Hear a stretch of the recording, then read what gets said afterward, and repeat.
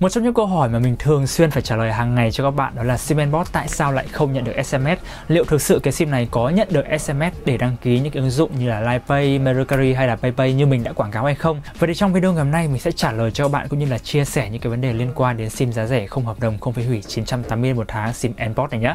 Và mình là Loki, chào mừng các bạn đã quay trở lại channel của mình.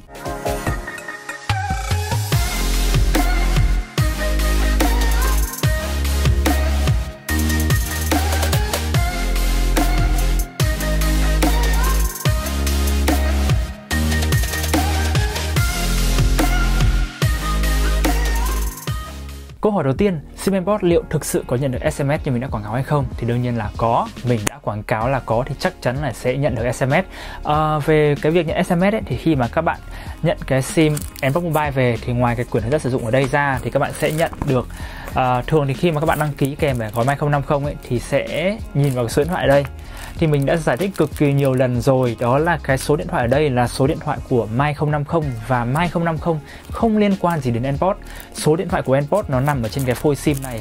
Nó ở cái mặt sau ở đây và ở mặt sau đây nó ghi luôn cái đầu số là 080 bao nhiêu bao nhiêu đó. Thì đây chính là cái dãy số ở trên cái phần mã cốt dài này. Chính là cái số điện thoại của các bạn để các bạn đăng ký cái SMS trên ờ, uh, Simenport có quá nhiều người, quá nhiều bạn không chịu tự tìm hiểu và các bạn chỉ chăm chăm nhìn vào số điện thoại này thôi. Thì các bạn chỉ sử dụng số điện thoại này để mà nghe gọi thôi. Thì đây là số của Mai 050 nó không hề liên quan gì đến Simenport cả. Chính vì vậy khi các bạn nhập trên tất cả các ứng dụng ý, thì chẳng bao giờ nó gửi mã về đâu. Vì vậy nên là nhớ nhá sử dụng cái số điện thoại này. Ngoài ra có một cách nhanh hơn ấy thì nó là các bạn sẽ vào trên iPhone thì mình sẽ hướng dẫn luôn là vào phần cài đặt. Kéo xuống dưới chọn phần điện thoại thì đây các bạn thấy này số điện thoại của mình là 0807515935 thì tất cả những cái số điện thoại nào bắt đầu bằng 080 070 thì sẽ là những số điện thoại có thể nhận được SMS để đăng ký tất cả các ứng dụng. À, và những cái số điện thoại bắt đầu từ 050 ấy là số điện thoại của 050 để mà nghe gọi thôi không có chức năng nhận SMS gì cả. Và để chứng minh luôn cho các bạn thì mình sẽ vào luôn ờ, đăng ký một cái tài khoản Yahoo Mail yêu cầu số điện thoại bằng chính cái sim Nport này. Ok thì đây mình vừa mới mở số điện thoại của mình là 080751593335 080751593335 mình sẽ tiếp tục. Đây bây giờ sẽ là cái lúc mà đợi mã code về các bạn thấy luôn này. Có luôn mã code OTP là 8038 như vậy thì chúng ta hoàn toàn có thể nhận được cái code SMS từ Simenport. Đây mình mở thêm tin nhắn của các bạn, các bạn thấy này. Mình có thêm cả mã bảo mật từ Facebook này, rồi thì mình có rất rất là nhiều những cái mã verify code từ Babel rất là nhiều, đều từ cái sim này mà ra.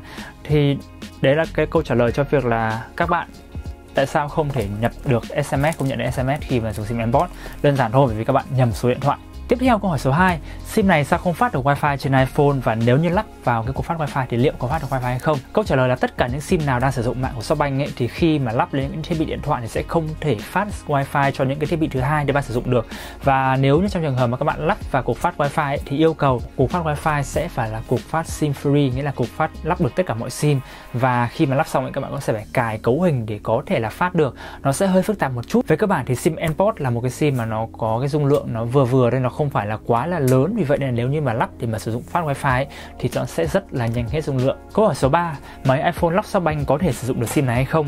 À, câu trả lời là không. Tất cả những iPhone mà là chỉ cần là lắp thôi thì đều không sử dụng được cái sim này. Bắt buộc các bạn sẽ phải sử dụng máy quốc tế hoặc là lắp sim ghép vào để có thể là sử dụng được sim của Nport nhé câu hỏi thứ tư hàng tháng trả qua thẻ Neutral nó có tự trừ được không anh? Hay bắt buộc phải qua máy của Lobby Lawson à, nó cũng hơi bị uh, có một chút hạn chế nhưng mình nghĩ nó không hẳn là một cái hạn chế lắm. Đó là hiện tại thì Nport không chưa hỗ trợ cái việc là trả tiền thông qua thẻ truy hàng tháng. Và để cho tất cả mọi người đều có thể trả được tiền một cách đơn giản nhất và dễ dàng nhất đấy thì sim Nport nó sẽ cho các bạn thanh toán qua mini. Bởi vì có rất là nhiều bạn thậm chí không có thẻ neutral cơ. Thì uh, các bạn mới sang chẳng hạn các bạn chỉ trả tiền được qua mini thôi thì chúng ta sẽ trả qua máy Lockpay của Lawson hay là Family Mart. Đến đó nhập mã code và thanh toán thôi không cần phải bất kỳ một cái thẻ nào thậm chí là không cần phải thẻ credit nó đơn giản hơn rất là nhiều. Câu hỏi số 5 liên quan đến việc nợ cước. À, tháng này mình quên không đóng cước thì liệu có bị hủy không? À, trong cái trường hợp mà bạn quên không đóng cước theo cái ngày quy định ấy, thì Enbot tiếp tục cho bạn mở rộng thêm một cái tháng để bạn sử dụng tiếp. Thì trong cái tháng sử dụng tiếp đó bạn sẽ bắt buộc phải hoàn thành đủ đóng đủ cái cước nợ cũng như là cái tháng tiếp theo đó để mà có thể tiếp tục sử dụng trong thời gian dài để không bị hủy. Câu hỏi số 6, em đăng ký SIM Nport nhưng quên không kèm gói My 050. Vậy thì làm như thế nào? À, như mình đã nói rất nhiều lần đó là My 050 ấy thì nó là một cái gói tách biệt so với Nport nghĩa là đây là hai công ty riêng với nhau. Thực ra là Nport và My 050 liên kết với nhau để tạo ra một cái gói nó rẻ cho các bạn nghĩa là các bạn không mất cái phí uh, đăng ký ban đầu khi mà các bạn uh, đăng ký cùng lúc cả Nport và My 050. Vì vậy nên là uh, các bạn cố gắng là chú ý nếu như các bạn cần gọi điện ấy thì đăng ký ngay từ ban đầu. Còn nếu các bạn đã lơ đăng ký rồi thì có thể liên hệ với mình thì mình có thể hỗ trợ các bạn mở cho các bạn những cái tài khoản My 050 để các bạn gọi điện uh, trên những cái sim data đang sử dụng hiện tại mà không cần phải hủy đi để đăng ký lại một lần nữa. Câu hỏi số 7, My 050 có nhận được cuộc gọi từ người khác hay không và làm sao để biết được số điện thoại của mình? Khi mà đăng ký gói My 050 thì để gọi điện được cho người khác, bắt buộc các bạn sẽ phải cài ứng dụng My 050 lên điện thoại để mà gọi đi được. Tuy nhiên đối với người gọi đến cho bạn thì họ chỉ cần biết số điện thoại của bạn mà thôi. Họ sẽ quay số trực tiếp trên ứng dụng gọi điện từ iPhone này hay là những máy Android, Samsung các thứ. Thì các bạn là người phải cài ứng dụng còn người khác thì sẽ không cần phải cài ứng dụng. Họ vẫn gọi điện bình thường được. Và làm như nào để có thể biết được cái số điện thoại của My 050 đầu tiên thì các bạn vào ứng dụng My 050 này sau đó thì các bạn ấn vào phần My Account. Thì ở đây nó có phần số 050 thì các bạn có thể thấy là uh, cái phần pin này là bao gồm 4 chữ số cuối. Thì nó là bốn chữ số cuối của cái phần phía dưới này. Các bạn thấy đây là bốn chữ số cuối ở đây. Thì các bạn sẽ nhập vào phần pin này như kiểu của mình là 7893 mình sẽ nhập vào ấn tiếp theo và đây là số điện thoại My 050 của mình các bạn có thể thấy ở trên hình thì nó có cái ngày hết hạn của cái số điện thoại này thì uh, cũng chia sẻ luôn đó là khi mà các bạn chuẩn bị hết hạn một năm của My 050 ấy, các bạn vẫn có thể hoàn toàn là gia hạn tiếp 1 đến 2 năm tiếp theo để có thể tiếp tục sử dụng tại Nhật Bản nhé. Uh, về cái cách à, đóng cước tiền nợ ấy cũng như là cái cách à, trả cước hàng tháng thì nó y như nhau vậy thì mình sẽ hướng dẫn lại một lần nữa cụ thể chi tiết nhất cái việc mà mình đi đóng tiền nợ cước bởi vì là mình đã cố gắng là để nợ cước một tháng để chỉ để hướng dẫn cho các bạn cái này thôi. Thì chúng ta sẽ đi ra luôn con mini để mà đóng cước nhé. Đây là máy loppy chuyên đóng tiền cước hàng tháng tại Lawson thì các bạn sẽ ấn vào phần này và nhập cho mình cái mã email. Email này thì là email báo cước hàng tháng. Mỗi tháng sẽ có một mã khác nhau để các bạn có thể đóng tiền. Các bạn nhập vào ấn tiếp tục. Chọn cái phục này cho mình. Ở nút màu vàng này rồi, đây, hiển thị số tiền đúng như trong email này. Và tiếp tục nhé xác nhận một lần cuối. Ok, và mình sẽ đợi cho cái hóa đơn y ra để mình thanh toán tiền. Thì các bạn nhớ rằng là mỗi tháng sẽ có một mã gửi vào trong email để các bạn có cái mã đó đi thanh toán tại đây nhé các bạn mang ra quầy để thanh toán. Câu hỏi số 9 anh ơi, cho em hỏi là nếu đang dùng mạng của Docomo thì khi chuyển qua SIM Import có giữ nguyên số cũ của mình không ạ? À, về thực chất thì SIM Docomo là SIM full chức năng còn SIM Import là SIM chỉ có data mà thôi.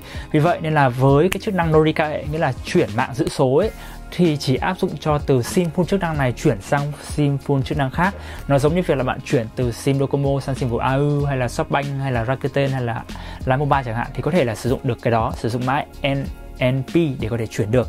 Còn à, đối với SIM box là SIM data thôi thì sẽ không áp dụng được trường hợp này nhé câu hỏi số 10 câu hỏi cuối cùng đó là à, bạn ơi cho mình hỏi là làm sao để hủy được hợp đồng với nhà mạng? Enport thì uh, cái cách hủy hợp đồng với sim Enport nó rất là đơn giản thôi vì các bạn là không mất phí hủy mình đã nhắc rồi là không mất phí hủy.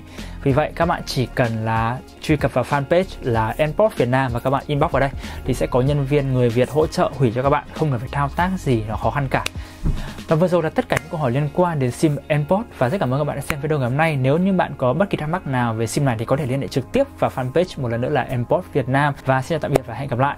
Bye bye.